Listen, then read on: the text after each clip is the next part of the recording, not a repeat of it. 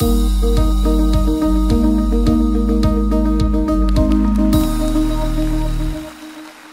we'll just get started. Hopefully this clicker works. All right, so who am I? Um, you know, you type that into a terminal, you get root, hopefully. But uh, so uh, I grew up in PG County, and uh, I grew up. I born in Brooklyn, uh, but grew up. but uh, we uh, we moved to the West Coast, and there was a massive earthquake, so we moved right back to the East Coast where there were no earthquakes, and so moved to DC and well, PG. Uh, grew up in Clinton, Suitland, Fort Washington, uh, running around crazy over there. Played golf, football, track, basketball, tennis, dodgeball, I don't know, everything else that's under the sun. Um, I volunteer as a high school track coach, uh, both here in Virginia and in Seattle, because I currently live in Seattle. And I also volunteer as a high school entrepreneurship teacher here in uh, Front Royal, Virginia. So, uh, and then I spend my free time somewhere between eating, traveling, uh, and, and somewhere with live music, hopefully all three, like Coachella or something. Uh, so, uh, my family's here. Uh, my sister, and my mother, uh, both in Maryland, and they might walk in at some point tonight. And I have a dog with me in Seattle that drives my car on road trips. So he's mad that I've been gone for a while. So really, why am I here? And my reason for being here is that we're all a team. And a lot of people go out in the world and they, they think about, all right, I've got to go do this one thing for myself and build my empire, do that. And really, it's, it's, it's ludicrous for us to imagine that we can go out there and do everything on our own. And that's something that, uh, you know, it's, it's, it's said by a lot of people, a lot of successful people are out there, but they, you know, a lot of people claim they can do something by themselves, but they can't. What it takes is a community, and you work with each other. Um, and so, that being said, it's profoundly difficult for uh, anyone to build a company, let alone uh, a minority, uh, specifically black people, uh, Latin people, and it's, it's hard. It's very hard. And so, on top of the 90% or 93% failure rate you have as a first time business owner or first time uh, founder, you have on top of that all the other uh, variables that are trying to make you fail. And so, some of those variables are your sales network. You have to get out there and make money. And so I know there's, there's, a lot of consumer businesses out there, and they say, oh, we'll make money later, we'll get $80 million in investment. Uh, and I personally had a friend that had to hand back $50 million of investment. So it's not a pretty thing. At least you didn't lose it. Uh, and so uh, now funding is another thing that I'll talk about. I'll touch on that. It is, it is really hard to do that to start with. But on top of that, when uh, people don't, or you don't look like the people you're asking um, for money from, and you don't, you don't have anything in common them or you don't have much in common with them or they have some kind of issue with you. It's hard to do that. Uh, and then the recruitment network. Uh, a lot of people I, I, heard talking went to really good schools and that helped a lot. but at the same time, you still get the undertone of, do I really want to work for that person? Or they don't look the, the nerdy type or they don't look the tech type. So do they, are they really going to uh, run a real, a, a, good business? And so you run into that. And uh, now, one of the other things I wanted to share was my experiences as a black entrepreneur. Um, building and running that company, it was the hardest thing that I've had to do. Um, I went to military school, I went to boot camp every summer, I did lots of hard things. I uh, was all-American athlete in college, and by far, uh, this was the hardest thing that I had to do. And you know, you could actually feel it in your body, you could see the changes. Some investors would say, hey. I'm like, yeah, I haven't eaten in like three days. So uh, I live off of chili and eggs. So um, now the big thing here is a lot of entrepreneurs talk about, all right, this, this is awesome. I started a company and now I have a yacht, right? Like, and that's not how it goes at all. Um, and there's a lot of things that go into getting from point A to point B to point C. Uh, and we'll cover that. And one other thing I want to say is if, if anyone wants to jump in with a question or interrupt or whatever, just go ahead. Like uh, I'm up here presenting, giving us something to talk about, but if you have questions and I covered something or blew past something, I'm happy to go back and talk about more of it. So. So how did it start? So my early interests uh, were in my father's payphone business, and he was, uh, if you think about uh, all the payphones that were involved in the DC area, he owned about 60 to 70 percent of those, uh, and that was actually where I actually saw my first issue with a black-owned business and uh, he was, you know, we ran into, we had a lot of run-ins with the police. You, you know, two o'clock in the morning trying to fix a payphone looks like you're trying to rob it, right? And so, uh, as an eight-year-old, nine-year-old, I got to see that firsthand. And sometimes the concept of, oh, maybe I should hire someone to be the quote-unquote CEO of this company so that I don't get in trouble or people do business with me because they don't, you know, because of certain racial issues.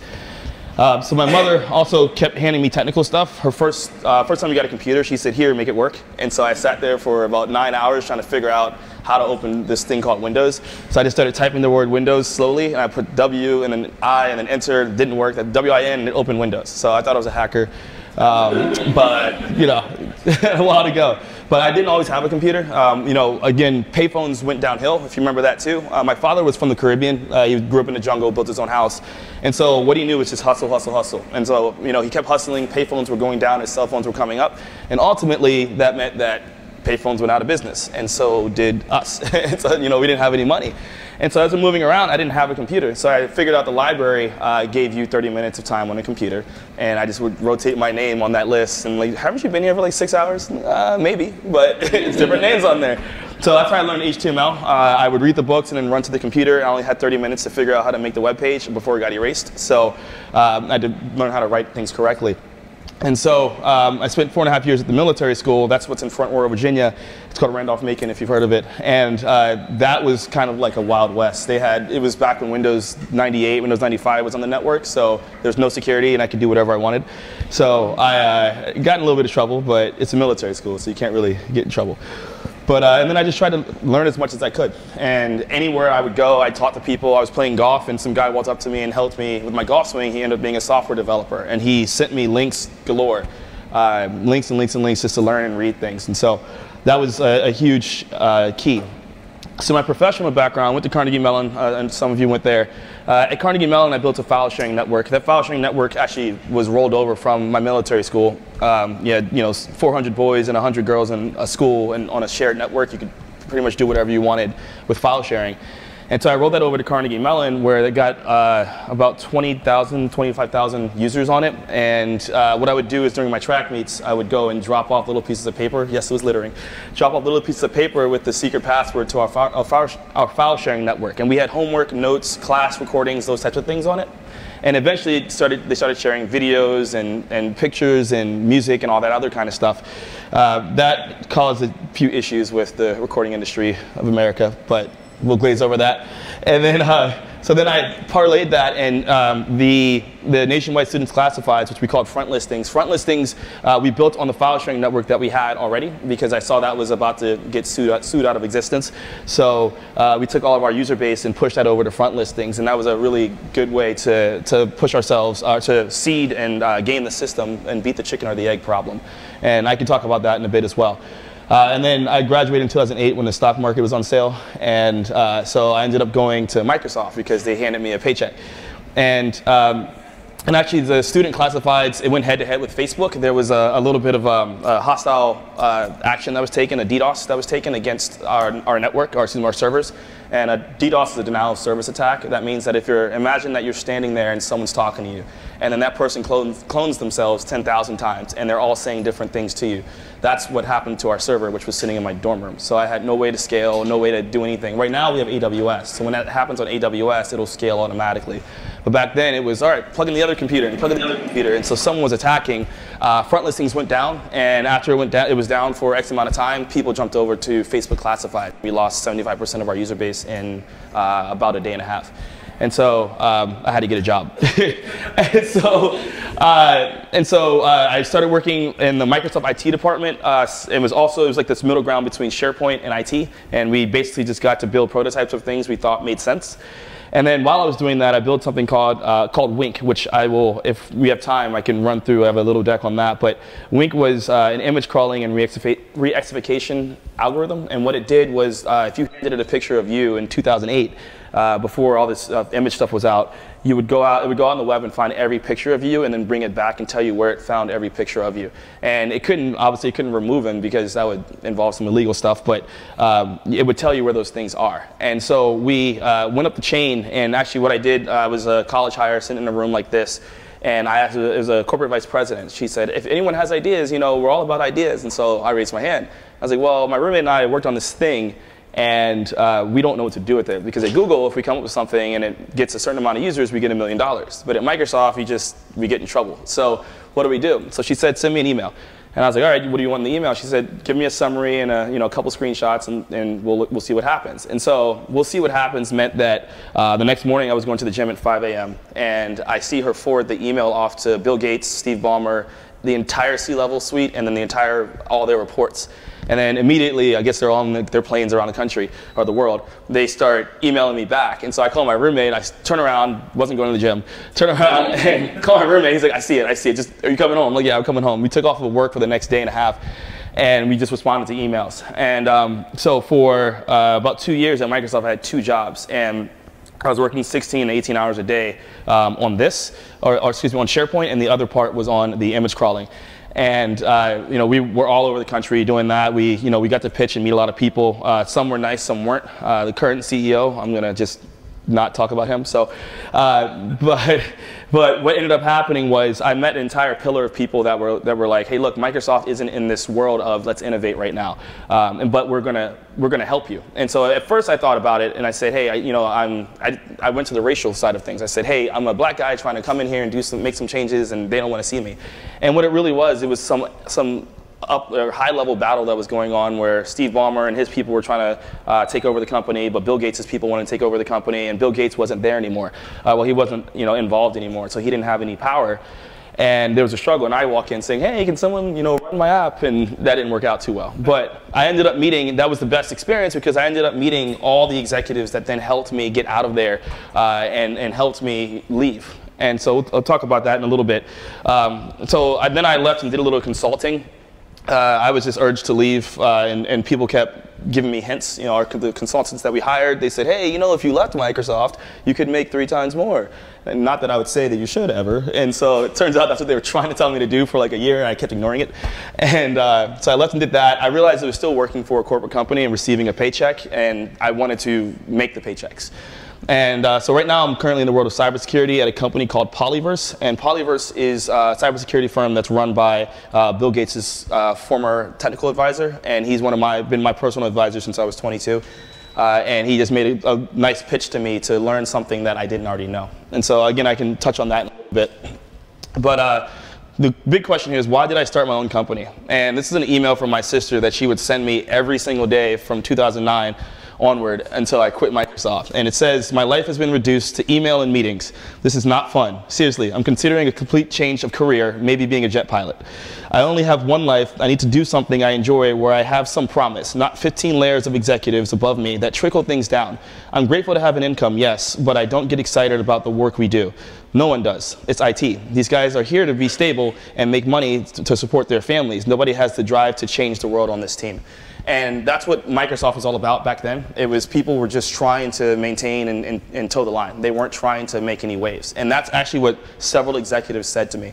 Um, and in my description for you know for this meetup, you know, I, I, was invited to dinners, I was invited to people's houses, I was invited to places to sit down and talk to them, and uh, and it opened up my eyes to a lot of things. They said, you know, one of the the director of Microsoft Research sat me down. He said, I like what you're doing. I'm supporting you, but I, am telling you the other people are not supporting you because they have been here for 20 years. Now they have kids going to college, and if they make any waves, that messes with their college fund.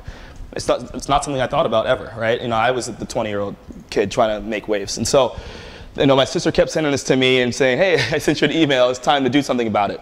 And so I, my first foray was I started a consulting firm with a couple good friends of mine, and uh, we messed up. We tried to get a couple contracts, and we failed at all of them. And you know, we just you know we didn't realize that consulting isn't just about writing a good writing a good uh, response to the RFP. It's about knowing people and being able to prove that you're not going to mess up their business. And so the big thing here, I was upset. I had to go back to work, and I wasn't going to go have a yacht in a year. So I, I had, I, but I learned lessons, right? And I said, all right, I fail, I fail. In sports, when you fail, you figure out what not to do.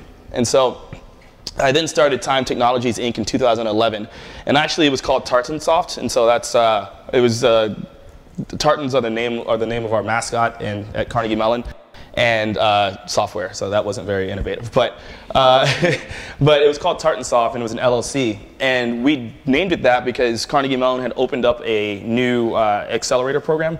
And they said that they were trying to get people in. And uh, my co-founders, uh, one was uh, Sikh, and we had a, a very unhappy um, uh, touchy, uh, large white guy.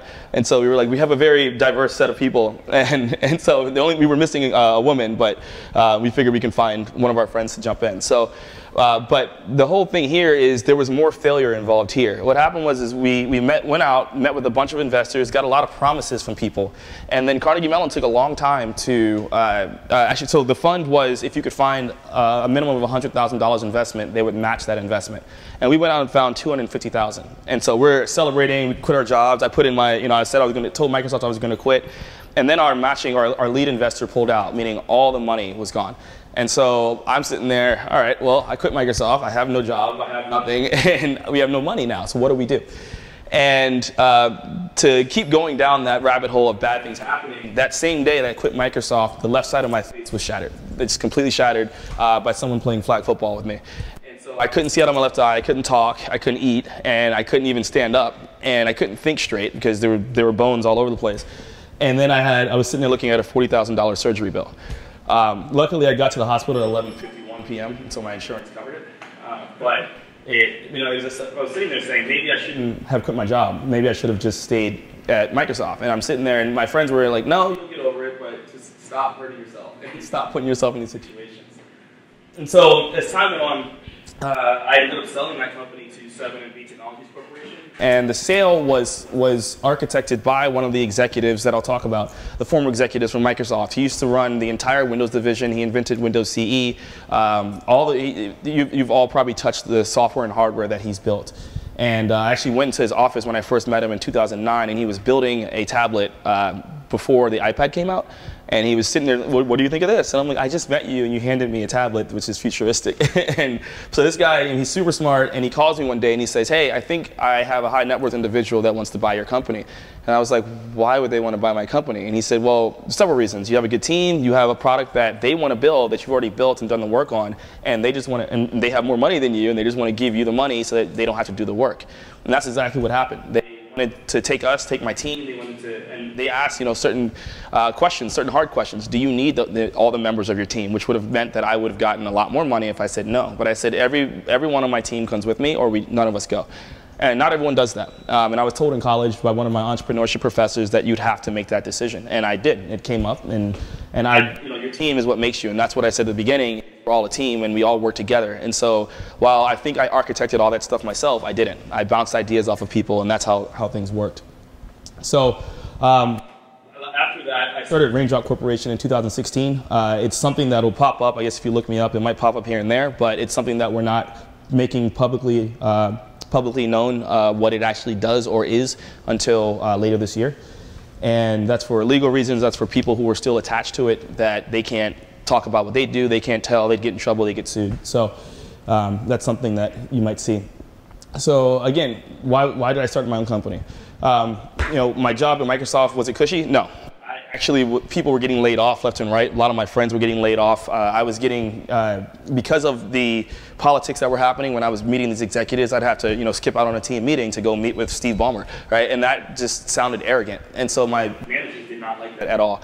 And uh, luckily, so I kept getting bad reviews at Microsoft because of whatever reason they would come up with. Luckily, one of my uh, mentors was the CTO of Microsoft, so he'd see it come through and flag it, and then like send it back down. And it was just these lucky, not lucky, but these, um, I don't know, just these things that kept happening that that made it so that you know if they weren't there, I would have been totally screwed. You know. So, um, now, the Microsoft executives that continually urged me to take the risk and leave, um, Alex Gounares, who's the CEO of Polyverse right now, Barry Briggs, who's the CEO talked about, Bill Mitchell was the one who I mentioned uh, used to run Windows and architected the sale of my company.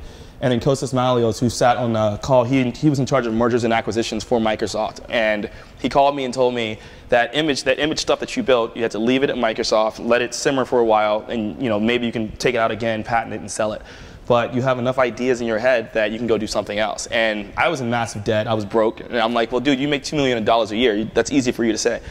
And, and he was driving to like Aspen House or something when he was on the phone with me. So I'm like, I, I, don't, I don't understand what you're talking about. And he's like, well, if you are going to be 30 plus and start this business, right now you're 23, 24, you know, you're going to have a lot more, uh, um, a lot more constraints that are, that are there. You might have kids, you might have a wife, you might have all types of things, health issues. Right now, you're fine. It's a money issue. We can worry about money. We can find money. I'm like, okay, we can find my money, find me some money. But all right, he's like, we can find that. But what he really meant was, all of these people, yeah, he makes two million dollars a year. These people make more than him, meaning all of their friends make more than them, meaning a hundred thousand dollar investment is really nothing, right? And so they were basically saying we will introduce you and walk you into rooms with high net worth, high net worth individuals, and that's what they did. Um, my first, I embarrassed all of them on my first meetings. You know, I walk in and I didn't know things. Um, in my first investor, investor meeting, the guy was just like, okay, stop. I'm going to turn this into a teaching moment, but we're not putting any money in that company. And so, but it was a teaching moment. And again, I took that as a positive, right? So, um, you know, the challenge was intimidating. It was, was appealing.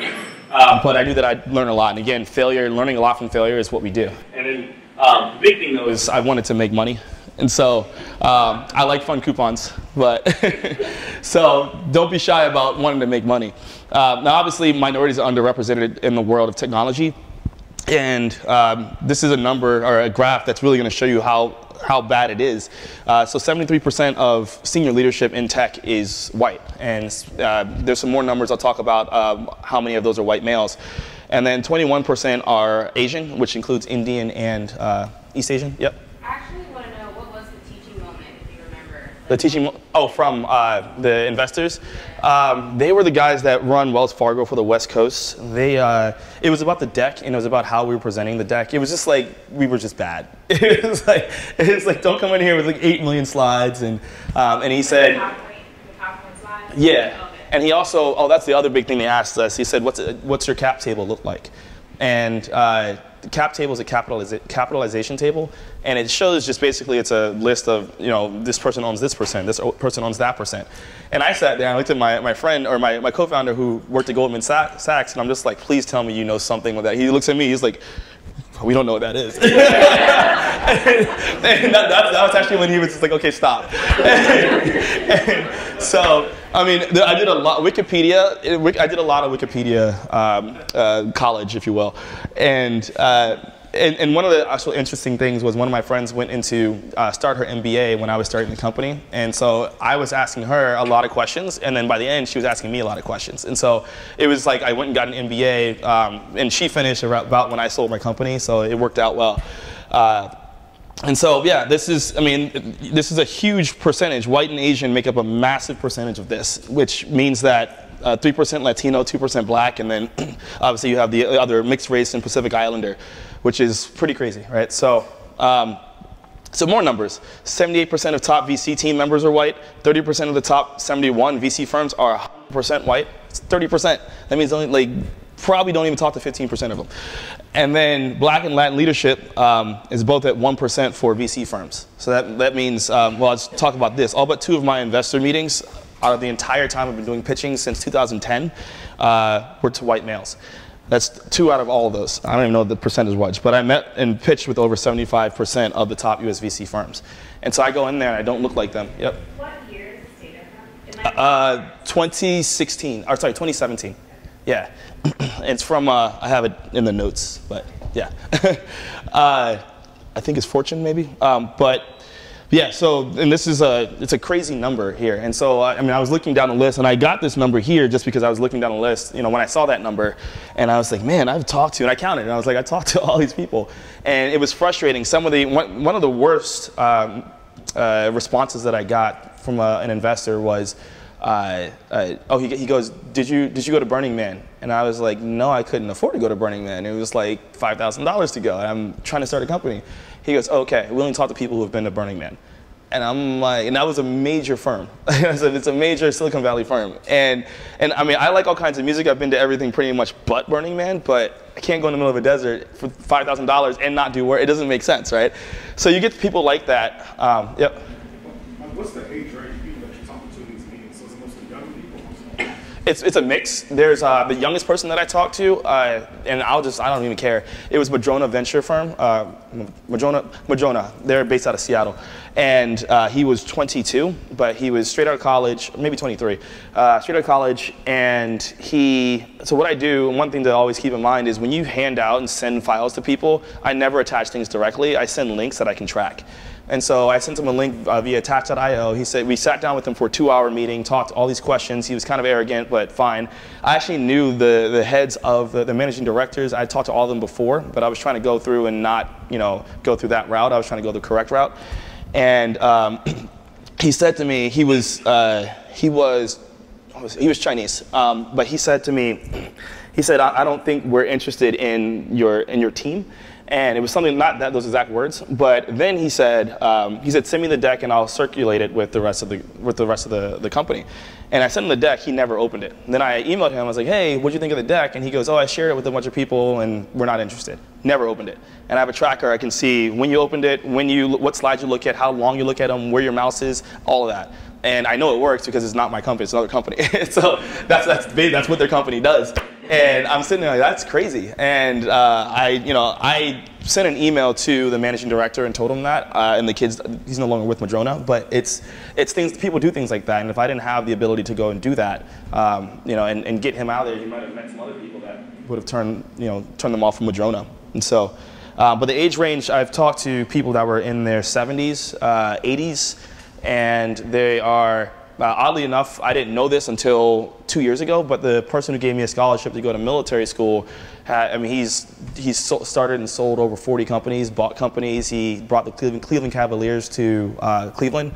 Uh, everything. I had no idea. I just thought this guy was just giving me tuition to go to this school. But he invited me to his house and he introduced me to more investors. The people that, uh, the one guy who has, who was the creator of Bluetooth, um, all just all types of stuff. And so it's, it's um, a whole spectrum of people. You have people who are really young, who are 18 years old, whose parents left them with a bunch of money. And they're, you know, you talk to them and they've got, you know, $50 million to put somewhere, right? And so, um, thanks for the questions though, I like those, yep. What do you think has been most beneficial for you in networking to meet all these people What's the most beneficial? And in networking um, for you to meet all of these people and be able to do the things that you can do now? Um, I just run my mouth. I do. Uh, so, like John, John Legere, the T-Mobile CEO, I literally was walking into uh, my office building, and he was standing there in a bright pink. You know, he just bright pink everything, and I'm like, I know you. He's like, you sure about that? and we just start talking, and um, and you know, he was looking for a restaurant. I helped him find it, and that's how like, you, and then you make sure you connect with them, right? And then uh, the Starbucks CEO, I, I noticed he was taking pictures and or doing like a, a live stream while I was at a GeekWire event, and nobody recognized him. So I just walked up, started talking to him. And then we start talking, and he knows he knew the CEO of Polyverse, and then we, all of a sudden, email chain, chain starts happening. Um, Steve Ballmer, I the first time I met him, uh, I was leaving. Uh, I was leaving some event, but he was going to use a porta potty, and so, and so he comes out of the porta potty. I'm like, "Hey, how's it going?" And one of my other buddies from PG was standing there, standing there with me, and we both, and we just started talking to him. So it's all about talking to the people, but also making sure you take that extra step to connect with them and make yourself memorable. So always having something that you can say, "Oh yeah, there's this, there's that," and they'll remember you and then you know try to bounce yourself. And and most of the time they they're just really busy. But the other thing is you know if you are really interesting they'll sit down and have lunch with you and they'll sit down and invite you to something. Or um, one of them uh, bill mitchell I, I ran track. His daughter started running hurdles. I coach hurdles. And so he started sending me nonstop pictures of his daughter like how, you know, how'd she do this? Here's a video. What's she doing wrong? And i'm like you know critiquing her form and all this other stuff, but that helped me get into, you know, into more of his graces. I think he already liked me a lot, but he, I got into more of his graces because of something that we had in common, right? So, um, now this right here, this has been up for a minute, but there's no black women among the Fortune 500 CEOs, which is kind of insane. And um, the only black women to ever be on the list uh, stepped down in 2009, and 92% of the, the senior leadership at top VC firms are men, and then 44 out of the 71 top funds have zero female senior investment leaders, which is a lot. and so what does that really mean for women in, in tech entrepreneurship? You know, again, you go into a room and, and, we've all heard about the issues that happened and all the fallout last year and the year before that, right? It was a whole bunch of problems and people not, you know, people stepping out of line and causing issues. And so uh, it makes it a lot harder for you to go out there and raise money. It makes it a lot harder for you to go and, and get continued money and to build your business, to get business, all those types of things. But I think for women, that's starting to change a lot because a lot of the men in the VC firms in Silicon, Silicon Valley have gotten into trouble. Um, so, yeah, uh, just in case people might not have heard of what happened Mhm. a few years ago, I'm assuming you're talking about like the Google manifesto. So there was the Google Manifesto, but um, the Google Manifesto was a developer at Google, or whatever he was, but he basically was like an anti-diversity rant. Is that what you're talking about? Uh, and he basically was saying that there's an attack on uh, white males or something like that um, because of diversity. Um, what I was talking about was uh, there was a lot of sexual harassment going on amongst VCs in, I mean, amongst all industries now, right? But amongst VCs in particular uh, in Silicon Valley. I, I, can't remember it was 2016 or 2017, but uh, that caused a surge in people correcting themselves and catching themselves and kicking a lot of the, the people out who were causing issues. And you actually started to see a little bit of a rise in and uh, women getting you know more funding because uh, you know the people that were messing things up weren't there. So, um, so why are minorities underrepresented? Uh, underrepresented. So one thing that I've, I've noticed is the employee versus employer mentality. Uh, and that's something I came out of. Uh, and again, coming from this area, when I do business in this area, I go to a lot of meetups and talk to people and just sit there and listen. and a lot of people are afraid to step out there, and I'll touch on that in a moment. The other big thing was IT versus software architecture, um, and you know, I've, it's it's fun when I meet an Uber driver or Lyft driver or whatever, and they you know they ask what I do, they start talking, and they say, hey, I want to get into IT, and I tell them IT is being automated. You know, IT and physical IT is being automated. It's about software architecture, cloud architecture. Learn those terms and go after those terms. And for some reason, it's it's it's in our community of, of, minorities, it has been heavily focused on IT as opposed to the other words that I was heard, I heard being tossed around tonight, which I was really excited to hear. But I mean, to me, little words and little mental shifts make a big difference. Um, another big thing was, for example, a, little example is. Uh, when I go to Canada, Canadians I found, at least in Vancouver, have they re- refer to themselves as Canadian first and then their ethnicity second and so that makes them all united. And, and I feel way better when I go to Canada. I just feel like people have treated me so much better than even in Seattle. And I, you know, I, I focus on little things like that, and those little differences can make a huge difference. So, um, and so, again, stepping outside of comfort zones, and then the fear of failure because uh, of more severe consequences. Again, if I messed up and I fail, I didn't have any money, then that means like the family doesn't have money, right? And so there was no no golden parachute. There was no fallback. Evan Spiegel's dad already made 50 million a year, or whatever he made, right? So that's easy. Let me go make an app. If I fail, I'll just go back to my, you know, yacht. I don't know. I like yachts, whatever. So, uh, so you know, it's a fear of failure, and that was my fear. And, and at some point, I'd say, forget it. You know, Microsoft's getting on my nerves. Everything's getting on my nerves. I'm gonna go do my thing. And if I fail, I'll just figure something out. I'll be a janitor or whatever. And then, so the other big thing here is to remember, I know probably a lot of you have heard this, but the average of the five people with whom you spend the most time, that's, you, know, you, you are the average of that. And so if you surround yourself with people that are doing really well, I surrounded, you know, my, my roommates were all doing really well. And they were, you know, I, I surrounded myself with them all the time. And uh, my friends, you know, I picked and choose who I was hanging out with. And, and so if you're, you have really, really successful friends who are working their butts off to do something, you're going to go and try to do those same things because you'll see that they're possible. And I saw the same thing in sports, right? If you go to a really good school, the reason why I was an All-American in college was not because I was faster than somebody or I went to a better school. It's because everyone used the same track. So University, University of Pittsburgh, Duquesne, Cal UPenn, all of them went to the same track. And so we had like five D1 coaches coaching everybody. And so, you know, we, we, we were surrounded by these really good people. And so I'd had these workouts that I was doing, thinking I was doing a lot. And here comes everyone else doing three times that. And I'm like, I guess I won't die if I do that. And so it, it worked, right? And so that's something that I, um, that i found is, is something to keep in mind. Uh, also, another big thing here is uh, for those of you in your 20s and early 30s, you know, partying is huge. You know, people go out and they rage. I, I, I like to party, but at the same time, you might have five people that that's all they do. And so if you're trying to go home and spend your entire weekend writing code, and everyone's like, hey, you know, come out, come do this, come do that, and next thing you know, it's Sunday night and you're still hungover. I mean, it's not going to help. Whereas you have four friends that are like, no, I'm staying in today because I got to do this. I'm working on this deck. I sent you the deck. You know, take a look at it, and you're going to stay inside and do your work. And so it's really easy to see that play out. The big thing in my mind was is the entire system rigged. I always thought it was rigged. I thought everything was rigged, uh, and it is. So, uh, spoiler. Uh, so, yeah. Yeah. How does one, um, you know, deal with wanting to be an entrepreneur, but it's being told, well, you should work this particular, you know, work your way up, like how I did, mm-hmm. you know, work for the work until, you know, 30 years and become a GS-15 mm-hmm. at $100,000, or you should become a lawyer, you should become a doctor. Yeah. I feel like in our community, that's still very, you know, we're, we're, we're just, we don't have generational wealth or anything like that. Yep. We don't come from trust funds, so our dads and our moms aren't, you know, the heirs of jets and planes. Yeah. We don't get those type of things where we're getting told to think outside of the box. Yeah. How does, you know, everybody in the room, but even then, because their parents, you know, are probably not, oh, I don't know their parents, but I'm sure we're still having these conversations and, you know, in the family rooms saying, you know, work, work, work, work, work, work, work. How, how does a young person who's, who, who is thinking of ideas, how do, how do they stay positive mm-hmm. you know, in that in that type of environment where, you know, because, you know, your parents say, well, if you don't do this, I won't, I won't fund you. I won't yeah. send you to this college. I yeah. Won't. So how, do, how did you, yeah. that? Yeah, so um, I was in that boat because uh, I, I, wanted to be a neurosurgeon when I was uh, younger. I had like my pajamas were all surgeon clothes, and I read surgeon books. I did all. I was ready to be a neurosurgeon. I also was ready to go into the Navy. That was my other big thing. I wanted to be in the Navy. So my family was like, "Oh, you be a surgeon in the Navy? Oh my, this is everything." And so, uh, but then uh, the war broke out in 2004, and then I was in the military school, so that stuff happened. And then I started looking at how long it took to become a neurosurgeon, how much money it took, and all this other stuff.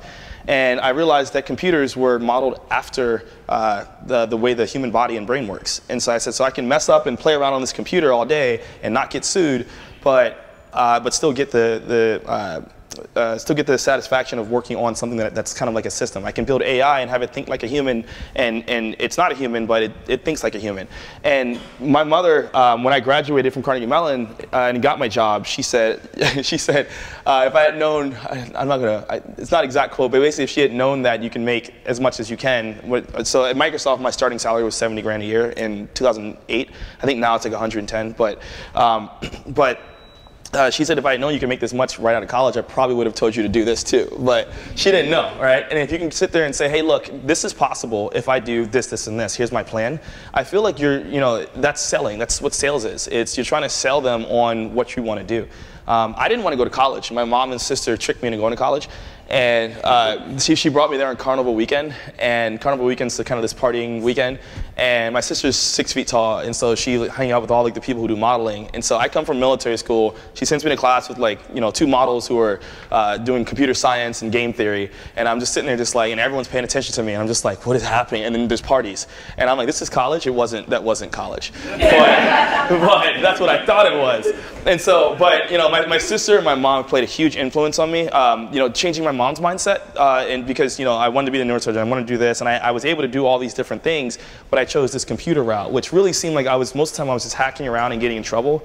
But um, once she realized that there is an opportunity to make this money really quickly and easily, I mean, even now the barrier to entry is really low, right? You can go make a mobile application and people like it because it plays the radio in a certain loop and you make, you know, $2 million over a weekend.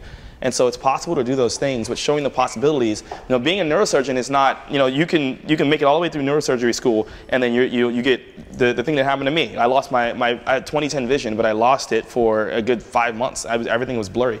And so that could happen to you. Someone could just run into you. You know, there's all types of things, all types of risks. You know, real estate crashed. All these things are, are not uh, 100%. And like I said, you know, I thought everyone thought I had a cushy job. Why are you, why are you quitting Microsoft? Microsoft had their first layoffs ever in 2009.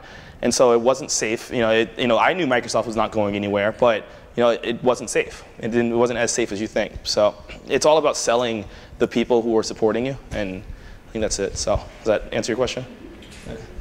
Um, on, a, on a wildly different tangent, um, you mentioned a lot of mentors. Mm -hmm. um, but for a lot of people who, one, are already in the system, who are already in uh, the tech industry, so for example, we're pivoting into um, tech careers um, who do not have that built-in system with mentors, how do you suggest going about and finding people who are willing to kind of mentor you?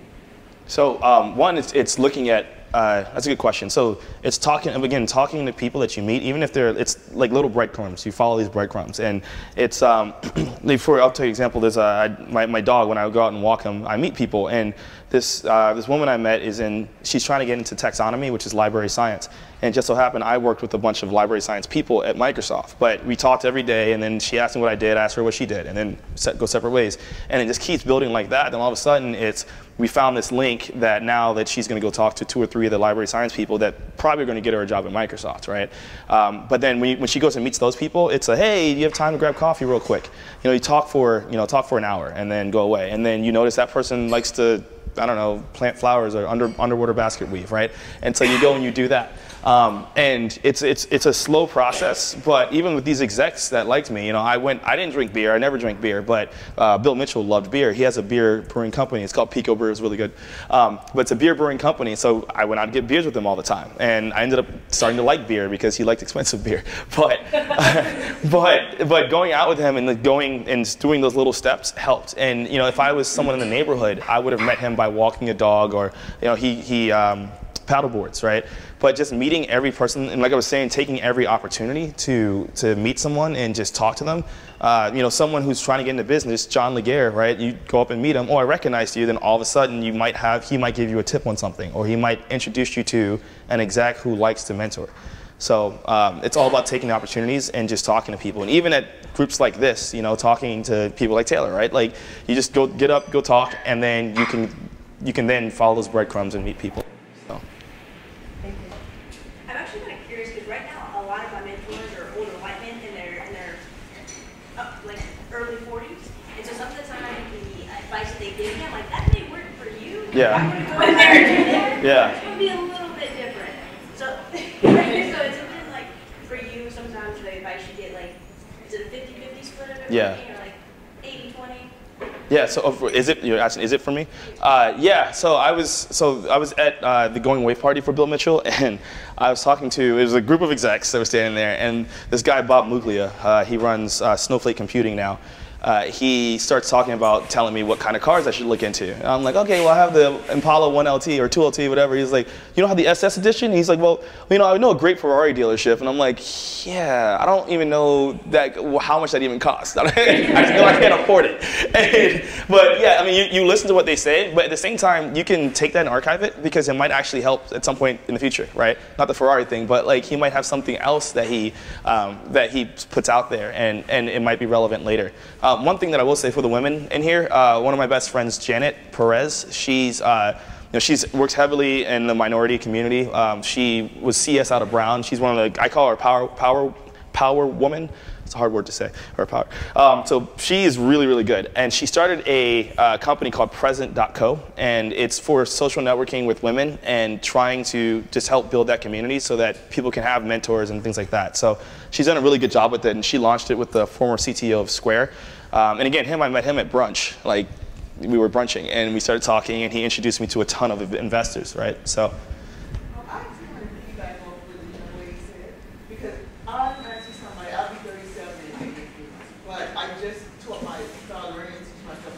a Mhm. And I feel like, once you reach a certain age, 30, 35 and older, you're made to feel like you have to have everything set in stone, you have to have a job set, you have to have Yeah. life sets, this and that and the other. You, if you wanna try to do something why are you doing it at this, at this stage in your life, Mhm. you know? So, I wondered, have you ever come in contact with other people that are like over 30, 35, Mhm. saying that, you know, um, I have this interest in doing coding, I have this interest in doing this, but I have a fear of stepping out and, you know, doing something new because I don't wanna, you know, lose what I already have. Yeah. Um, so. I'm, I'm at least fifty, my goal. Um, I've I've been doing it for, uh, probably six months now. But before that, I coded in my apartment for the past two and a half years. Yeah, Yes. I'm like self-taught three years ago, and now I have a website that I'm trying to promote it. So, but it's, it's fun, I, I enjoy it, I love it, I, it's a passion, I want to make it my career, but it's. Piggybacking off what you were talking about, just, just listening to stuff that you hear from other people that, that you, you feel like you're not on their level.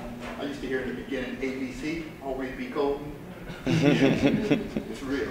And there, there, there's an interesting, uh, actually, it was, it was funny. I was just talking to Alex Gounares. We had a call. Uh, I had to rush over here, and I told him I was coming here to, to, to this talk, and he was just like, "Wait, um, wait, what, what are you, what are you talk, talking about me about?" And I'm like, "Just don't worry, it's fine. You helped me get out of Microsoft." And and it's it's interesting. He said, "You know, I'm, I'm try to paraphrase what he said. He said it's not like there's any machine code out there that says, you know, you have to be this color and this age and this height and this size and this whatever for, in order for your code to work." And that, that's what he told me about an hour, hour and a half ago. And that was really, really powerful to me because that's true. It's not like you put in code, compile it, and then all of a sudden it says, oh no, you're the wrong type. I can't, I don't work, right?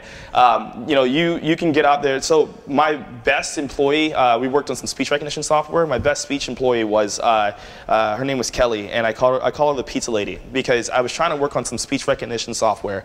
and I ordered pizza. I hadn't eaten in the entire day. I ordered pizza, and she shows up to my door. She was 47. She might be mad at me for saying this, but she's 47, 48, but she had a PhD in speech recognition um, with, uh, excuse me, PhD in, li- in linguistics with a uh, specialization in speech recognition. And my code wasn't working with, for the speech recognition stuff. So she hands me the pizza, and we start talking about some Pittsburgh stuff.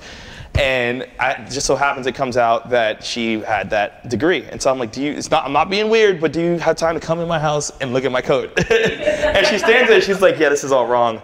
This is all wrong. This is all you come in on Monday then? And she's like, yeah. And so we hired her because, I mean, it's, it's the opportunity and it's about finding the person that, that, and now she's working for Nuance Technologies, which is what powers Siri and all this other stuff. But, um, it's about finding, you know, the, just again taking those opportunities, and the people who actually need you won't care. Um, and you know, if someone has time to say, "Oh, I don't like this, I don't like that," then obviously they don't have they have too much time. So, um, but again, also it's you know sometimes it might take you to get out there and do something uh, on your own to just just take the initiative and run your own thing. Um, and I mean that's it's it's hard uh, to see that now because back you know 10 years ago or 20 years ago, no one cared if you had a degree in tech. It was just how how good are you and get in there and do it. Um, there's one other thing I'll say is a lot of the base level coding stuff is, is, is being considered now blue collar, which means that those, are those jobs are going to be automated in a decade or so, which means that if you can get yourself to say a cloud architect level or a, a cloud, you know, some sort of architecture level, um, and you can go very niche really quickly and get there, um, learn some AWS real, stuff real quick and get certified, people are going to snap you up and hire you because even if they don't feel a, they feel a certain way about you, they, you know, your skills uh, overshadow that, you know, that feeling of whatever they feel. And then all of a sudden you start getting a lot of um, experience. And the other thing is uh, work for charities. So I work with a charity right now, uh, and we pull in a lot of people who just want experience. And we don't care if they're good or bad, we'll get them there. And no one cares, you're just trying to help, right? And so charity people aren't, they'll, they'll let you, you know, come in and do whatever, and it pads your resume like crazy. So, does that help? Okay. So, like I said, the system is rigged, so rig it for yourself. And um, the big thing here is know your weaknesses and be okay with your weaknesses, and then find someone who has those as, strength, as strengths. And then study and read everything. Like some people gloss and they might read a little bit of stuff, but read everything and go through it. Yeah, it's going to take you forever, but read as much as you can. And then something that Alex Kipman told me. Alex Kipman was the inventor of the Kinect, and he was that was a really rude meeting. He got up and left, and my roommate and I were like, "That I, I just want to go home and sleep." there, looked at our image technology because again, the Kinect back then was just coming out, and we were like, if we can get people's images and start scanning, we can do all types of crazy things. And he's like, "Yeah, this is interesting, but not really that interesting. In fact, it's uninteresting to me." And I'm like. Why? Okay. And he said, solve the hard problem. He said, my hard problem, again, he likes to talk about himself, but my hard problem was creating video games or making a video game controller without a controller. And I was like, yeah, that is actually kind of hard. So, uh, so I took that to, to heart and went back and built that re-excification algorithm that uh, we had built. Previously, it was more just like an advanced Instagram, but then we built that algorithm because of what he told us. And so get out there and solve the hard problem, and then you're going to game the system because you're really actually solving hard things. And then again, this is what I've been saying the whole time. Every time you speak to someone, it's a new opportunity. So take advantage of that, and then always be switched on. So whether you're at the gym, whether you're doing, you know, you're walking down the street, always just be active in the way you're thinking, because you know the person sitting next to you could be whoever. I was at brunch, and yeah, I was at brunch, I had like eight mimosas, but the dude next to me was a CTO of Square, right? And I'm just like, so like don't just fall on him and whatever you know talk to him and be ready to to work on an opportunity um, and so what can go wrong absolutely everything. I told you my face got shattered and everything was going wrong. My car probably broke down. I don't know what else happened but um, everything can go wrong but everything that can go wrong, will go wrong which means that you can assert that. For those of you who do test driven development you can assert that everything will go wrong and so you can test on that. Um, and so know that your first user is always going to be the worst user. You're going to be like, this is beautiful, this is amazing, and then someone's going to come in there and do it all wrong and say it doesn't work and then write the, the worst review ever. And so bank on that and know that's coming because it's, it's actually coming. So you have to meticulous, meticulously craft your success.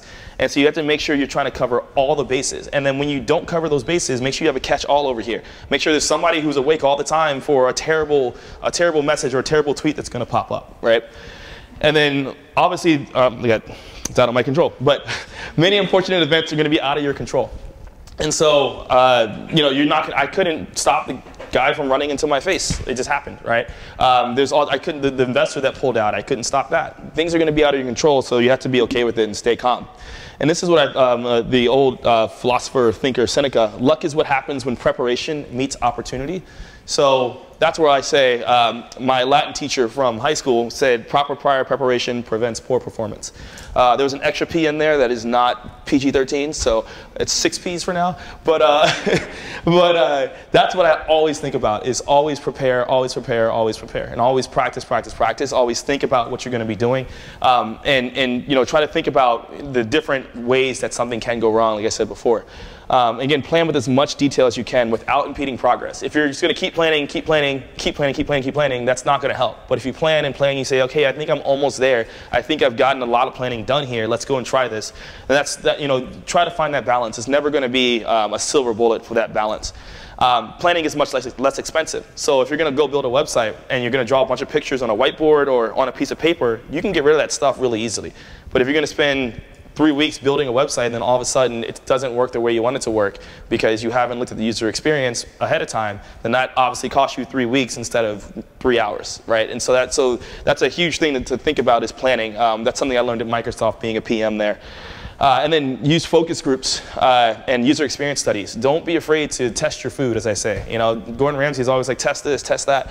Test your food. If someone says it's crap, okay, let's crap. That person perceives it as crap. Everyone else might think it's amazing, but that person right there has a perception. Then you start wondering, is that person a, a severe outlier or is that person a representation of something I'm not covering? So, you know, just because someone says it's crap and everyone else says it's good, you might, these might be all your friends who are afraid to tell you it's crap because you're 10, 10 feet taller than them, right? So you want to go and, and test, test, test with people you don't know. For that image software that we built, we bought pizza for as many college hires as we could, packed them all into a room, oh, and beer, lots of free alcohol for them. And, and we packed them into a room, and then we just had them just trash it. And they trashed it. and they told us all kinds of stuff. And we were sitting there just like, man, we had to go do this and that.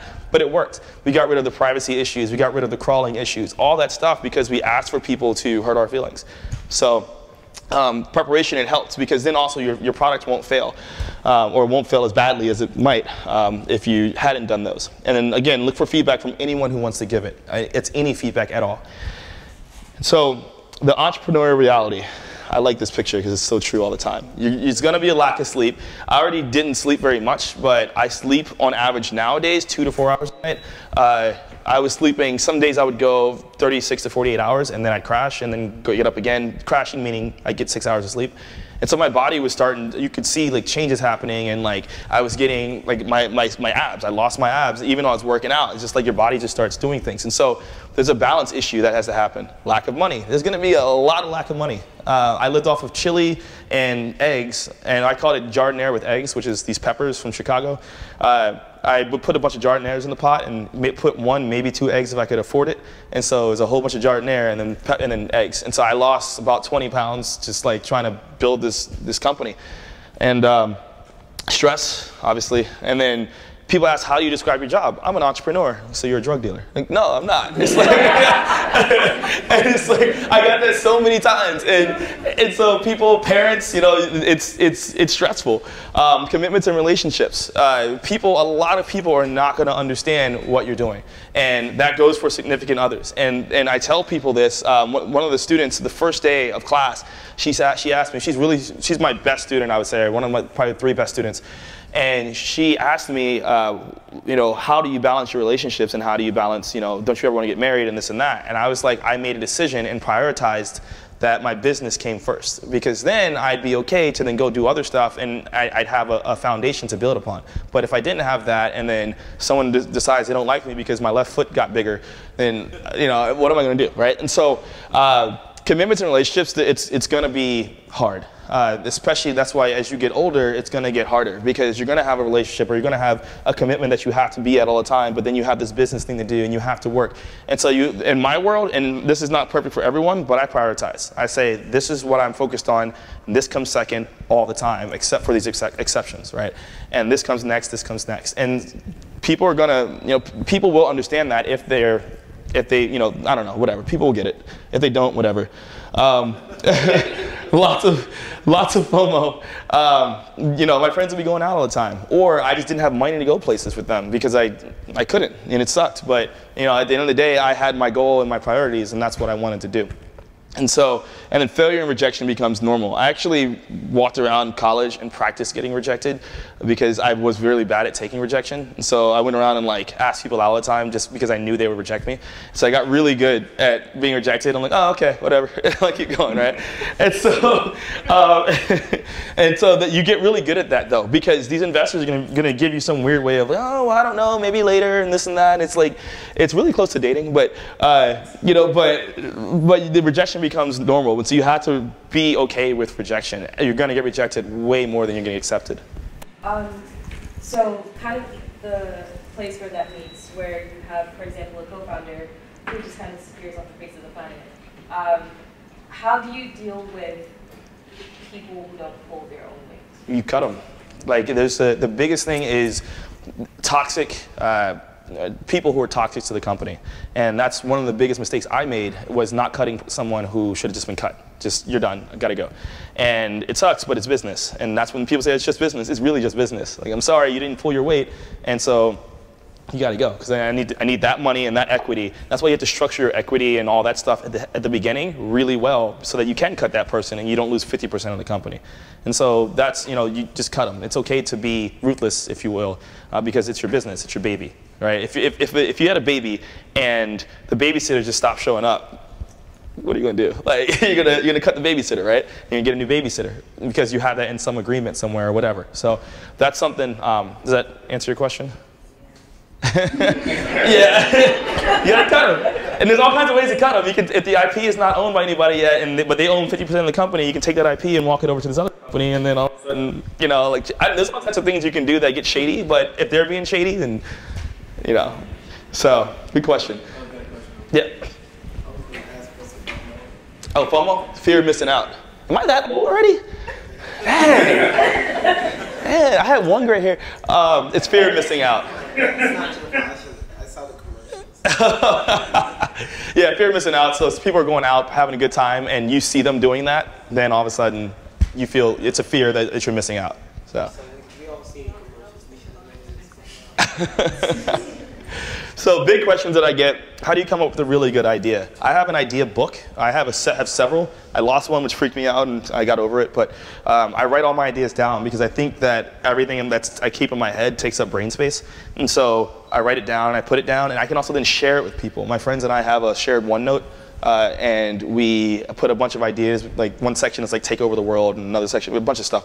But we put stuff in there, and we see what fits. We st- it sticks to the wall, right? And so uh, a lot of you know, I've got students that'll say, I can't come up with an idea. I'm like, ask your friends.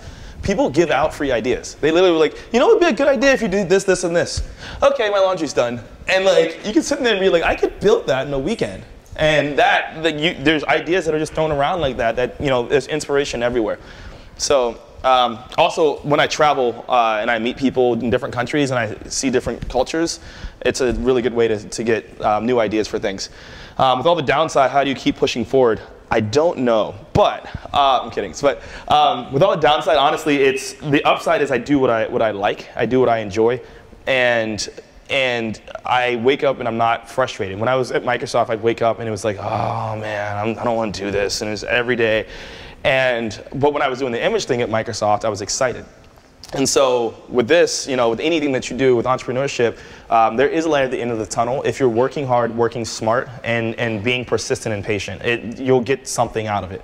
Um, whether it's learning something and being 20 times more valuable, just, you know, your business could fail, but all of a sudden you, you got really valuable after that. And then how do you get started? You literally just go start your business. you literally just start a prototype. How important is the credentials to get you in the room if you need to be? How the credentials to? The credentials. So, for example, you went to Carnegie Mellon. Mm-hmm. Um, but how Carnegie Mellon may or may not, however it is that your path got you to Microsoft, Microsoft got you to Bill Mitchell and all those people.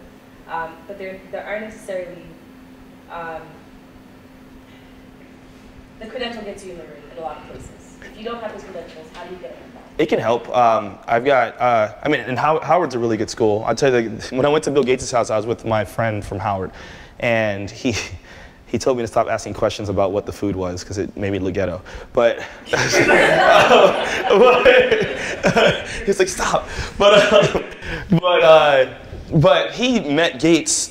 It wasn't even. I mean, he came from a really rough background, and and then he ended up. I mean, he's got his MBAs at Twilio now, but it's he's it's again, it's the opportunity. Like the credentials might help get you uh, an opportunity, more opportunities. Just like going to Stanford might get you in the room more with more people, but there's other ways to get in those rooms.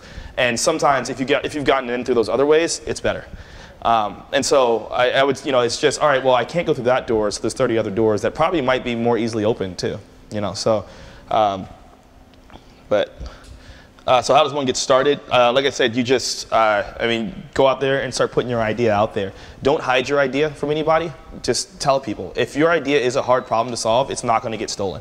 And all the ones that are easy to steal have already been done. So just tell people and you'll get feedback and they're going to give you free feedback. And so they're going to give you free ideas. And basically all this stuff is free. The internet's free. It's all free. So just like, just keep taking it in and, and you'll learn it.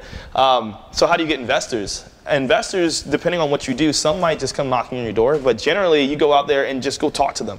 You have to take the initiative. You have to, I talk to like, I don't know, I'm gonna say upwards of 200 investors. I got no's for most of them, but that's, you know, you're, it's, like I said, it's, it's, you just put yourself out there and get those rejections and understand why they rejected you. They might, they might have to go put 90% of their money into, you know, again, underwater basket weaving, and they can't put their money in there because they have, you know, so um, investors are there, but also the big thing is you don't always need investors. You can bootstrap, you can do all types of things, and I'll touch on that in a moment.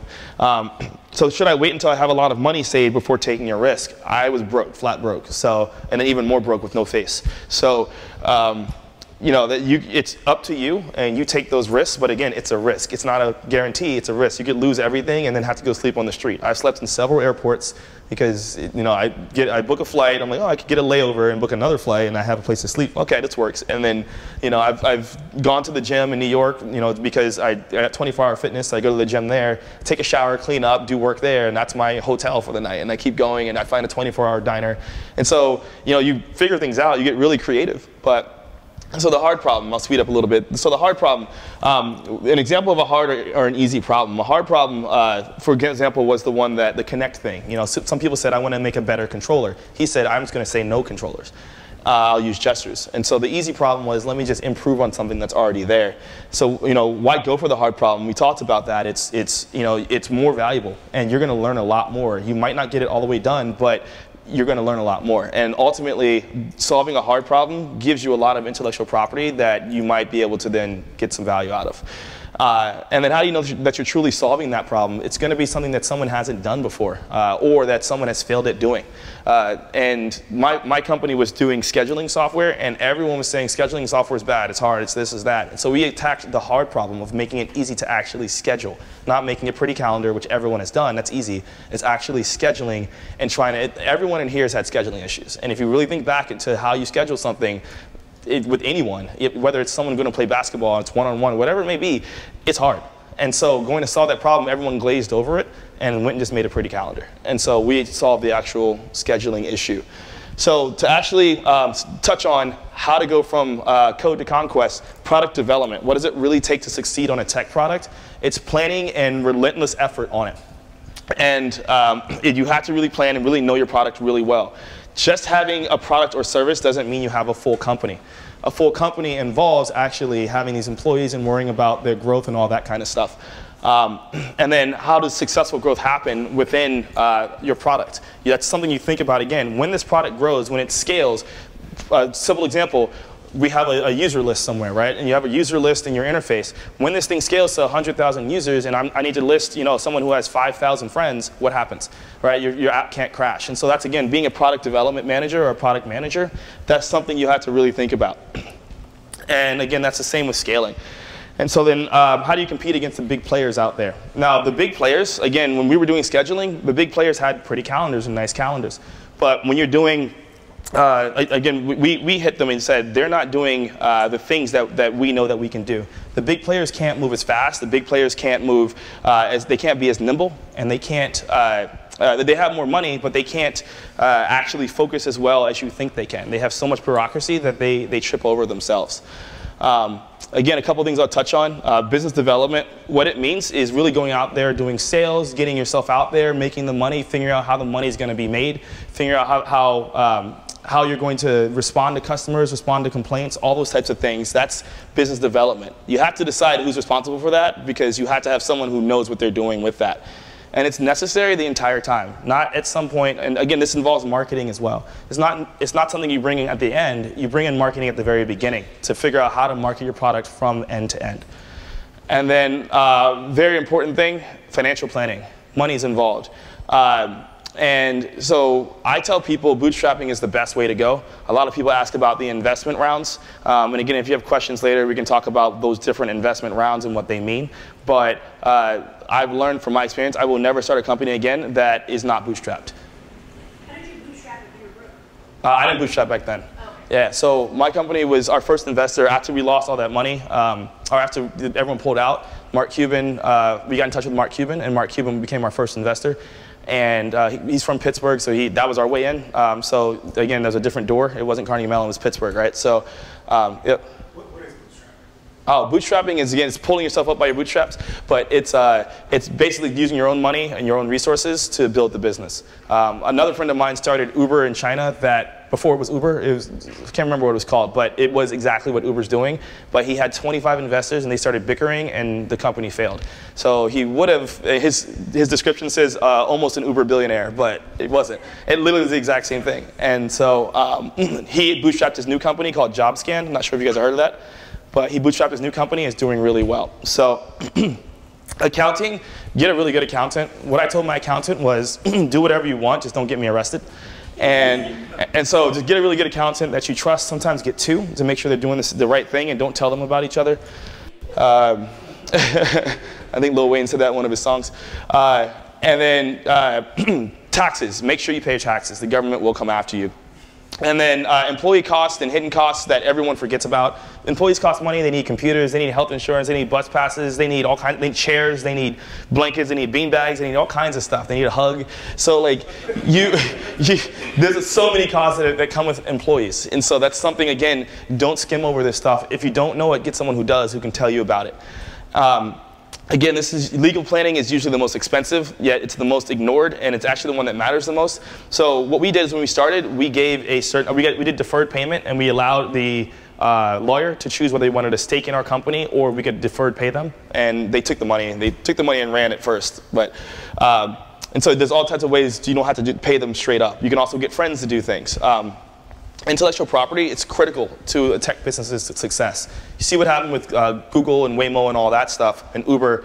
Uh, they, someone didn't do their job here and figure out, or they just didn't care and knew that they don't have billions of dollars, and someone would throw 250 million dollars around, right? So, but make sure you, you, you keep that in check because investors will always want to know, and you might lose an investor because uh, they see an IP uh, and legal risk.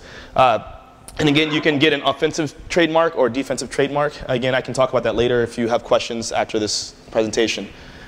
Quick question though. Mm-hmm. Um, sometimes you don't know if an idea is actually going to be a good idea. So mm-hmm. how, when do you actually get to the point where you spend some time patenting your idea versus actually trying it out and run the risk of someone stealing it? Uh, you test it. you test it with people. And so again, like I was saying, if your idea, your an idea is, is, easily stolen, but it's the implementation of that idea that that makes a difference, right? And so there was there was um, uh, Facebook or the Facebook, and there was ConnectU, right? Two different implementations. Uh, Facebook just had a, a, little bit less stuff on there, right? Same idea. Obviously, the idea was stolen, whatever, but he implemented it differently, and so he got he won in the end, right? And so uh, so yeah, so that's I mean it's and then test it out and see if it's working. If it's working, then obviously you've got something. You can also do something called a provisional patent, and that costs $100, I believe, per uh, filing. And that'll, and I don't, I'm not a lawyer, so I don't want to give too much, but like that's what we did, and we did a bunch of provisional patents. We had a bunch on the board, and then only two were the ones that we actually are pursuing and spending a bunch of money on. So. And to build on the idea of provisional patenting, um, companies will literally send out 200, 300, I work at the patent office uh, companies will literally send out 200, 300 patents at a time to patent concept. Um, and sometimes only two will be granted patents, and the remaining 200, 298 just scrap. But off of those two, they're making millions. Okay. So if you think it's worth patenting, I'd look into it. Awesome. All right, this is uh, towards the end here. So, um, so what's an exit? so how do I get out of this this whole business thing, and how do I make money and get a yacht? It's all about yachts. So. Uh, the so an exit, strategic plan to sell ownership of the company to an external buyer. That can be an IPO, which is offering shares of your company to the world or whoever's on that market. It could be what we did in getting acquired. It could be a merger. Uh, it could be completely imploding and running away. Um, lots of things, right? and so the best companies, though, are built to be self-sustaining. Oh, thanks.